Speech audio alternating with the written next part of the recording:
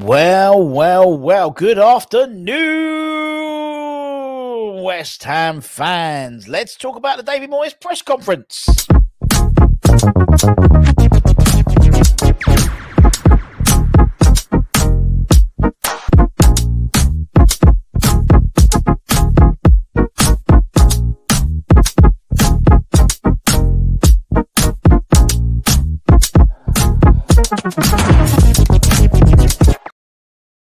Yes, everybody, Russ and the West Ham Network. Hope you're all safe and well. It's Hammers Headlines in association with the KUMB.com boys.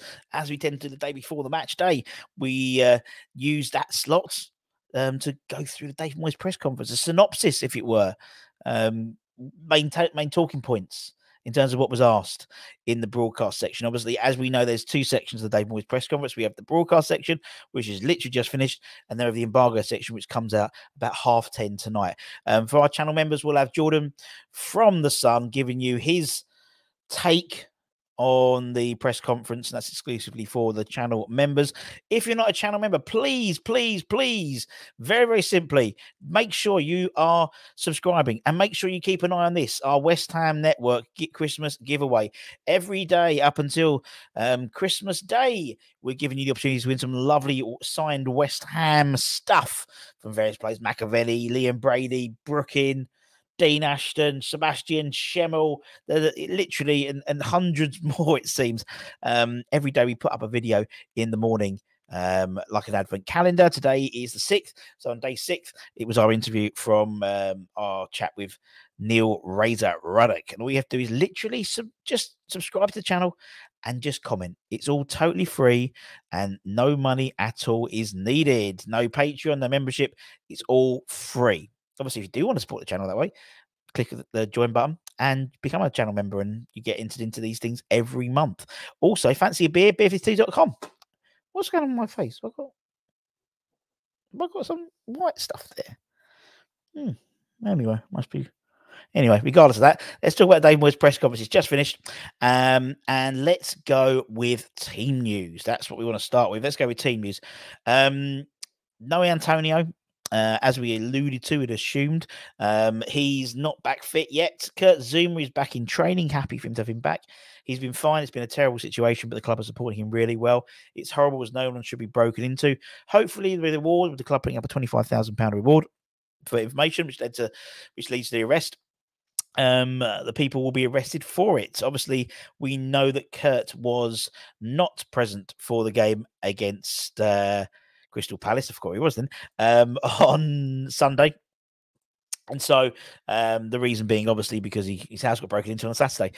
Um, so he'll be back by the sounds of it in time for uh, he's, he's you know he's got well, probably don't get it mentally, but physically it's okay. It was no injuries, no illnesses. It was just uh, the personal matter. So hopefully, um, you may all see him in the match day squad tomorrow. Hopefully, or not. It depends how you feel about him and whether you'd rather play him or Mavropanos. Um, we shall see. I'll be doing my predicted 11s just before kickoff um, tomorrow tomorrow for the watch along for the Spurs game. So you can keep an eye on that. Um, he was asked about Bowen, um, and it's a strange question. He was asked about whether he whether Jarrod Bowen has stepped up to fill the void of Declan Rice leaving in the summer, which is a bit of a bizarre question.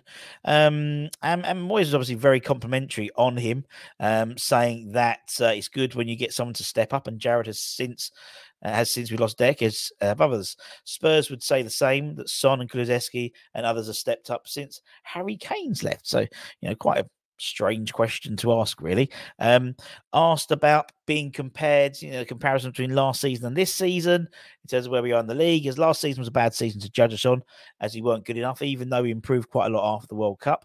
I think you were better if reflection is two years ago and the season before that. We're only a couple of points behind where we were a couple of years ago, but there are loads of things we could do better, and we want to do that in the second half of the season. And I get that. I understand what he's trying to say about that. He's trying to say, you know, obviously, last season don't really judge us because obviously it would look like an improved season compared to last season. But actually, judge, judge us on we finished sixth and seventh. Fair enough. Yeah, fair enough. Fair enough.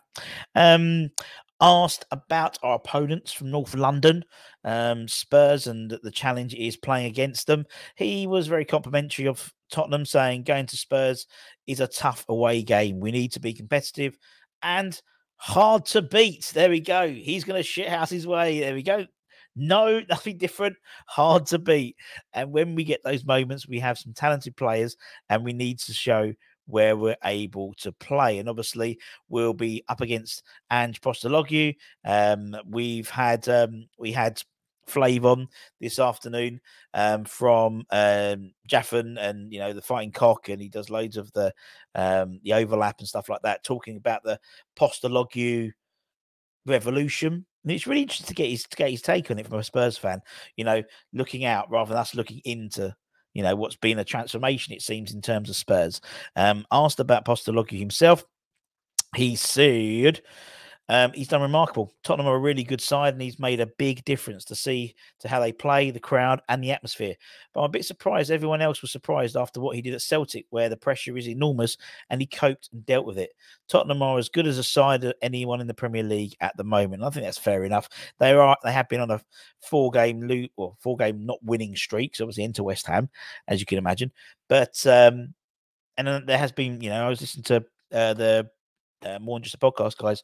Yeah, the other day I think uh, Nick was on the Claret Booze and saying how you know the way Spurs play might actually help us. And think about it, the, the likes of TSC, Crystal Palace, Burnley, all of them played the same way we played, really, apart from the exception of Burnley. But they tried to sort of like you know keep us from playing that low block and all that type of stuff. Um, whereas Spurs obviously play very quite an expansive style of football. Um, they also have a lot of players out. So a lot of players maybe not in the right positions they would be. Um, we know Romero will be back from his three match suspension, and that'll probably mean um, Emerson Royal will, will, drop out. And, and but you're still have Ben Davies, you're left back playing centre back, um, and a lot of other players still not there. Up to nine players could be out for the game. Uh, the likes of James Maddison, Van de Ven, some really, really good players, but they've still got the likes of um Kulusevski, they've still got they still got Gil, they've still got Højbjerg, they've still got Son, who always bloody scores against us, it seems. But we have Mohamed Kudus and Jarrod Bowen, don't we? He was asked about Mohamed Kudus uh, specifically and uh, his his progress so far this year, and he says, "I have to say, I've been hugely impressed by how he has done, and he's been started better than how I anticipated. He came off the bench and was scoring and making goals, and now he's starting and he's continuing to do that. So hopefully he will continue to do that. Thanks, David. Um, obviously, one of the big issues coming up soon will be the AFCONs. The likes of Mohamed Kudus will be, we know, will be going for a prolonged period of time in January, um, as well as Nayef Aguerd, Benrahma, Cornet, potentially if they all get called up to their respective national sides. Um, and Moyes actually asked a question specifically about the AFCONs, which I think is probably the first time he's spoken about it in a press conference. Obviously, we've got just over a month until a start. They start in mid January. And asked about the AFCONs, he said, Where is it? There is. Um, I've had many African players. Joseph Yobo uh, Yakubu at Everton when I was a younger manager, and I know the support for the Premier League is huge in Africa.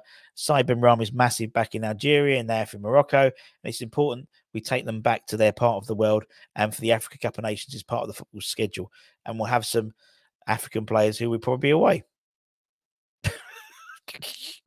Not really what I was saying before, David. I was saying before, oh, okay, we can cope. But anyway, we, we well done, well done, David. You've had some African-based players. Congratulations. And that was it. That was it. Um, as I said, go back and check out um, the chat with um, Flav this afternoon. That was really, really good chat. Um, and then tomorrow we'll start all the stuff for the Spurs game, uh, predicted 11s, the, the pre match, all that type of stuff. Um, and don't forget to check out needsonbrand.com. Always helps if you need a cheeky little link. Just saying. Just saying. Um, but if you are, if you do want to, because it's on Amazon, um, go back and check out the West Ham Network Community tab. Um, there's a code there. Our friends Amazon are giving giving you guys free um, Prime membership for a month. Um, so use that code and you can get free Prime membership. There we go. And You can watch the game. You can it straight afterwards if you want, um, or you can get use it for the old uh, old deliveries for the old Christmas presents. Why not? And that's it. So take care, stay safe, stay warm, stay humble, keep the faith, my friends, and come on, you bloody bloody Irons. Irons!